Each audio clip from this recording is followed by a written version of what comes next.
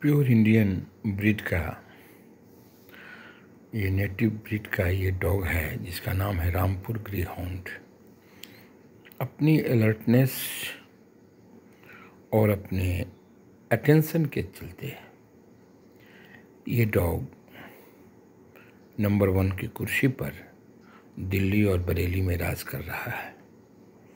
अब कह सकते हैं कि इस डॉग के रहते हुए कोई भी चोर आपके घर में प्रवेश नहीं कर सकता है। और ये फ्रेंडली डॉग भी है। बच्चों, परिवारों के, परिवार के साथ मिलजुल करके रहने में यकीन करता है।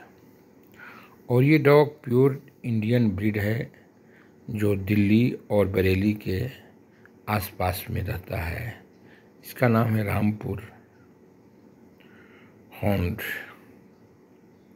रामपुर हॉन्ड एक देसी नस्ल का कुत्ता है और दिल्ली के आसपास के इलाकों में यह बहुत ही अच्छा से जाना जाता है।